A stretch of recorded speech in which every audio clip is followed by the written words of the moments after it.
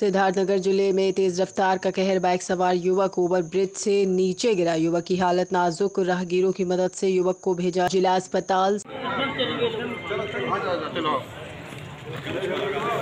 सदर थाना क्षेत्र के ओवर ब्रिज का है मामला।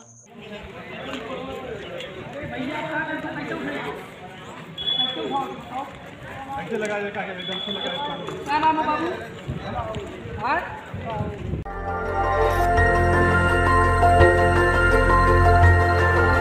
देखते रहिए डीबी भारती समाचार।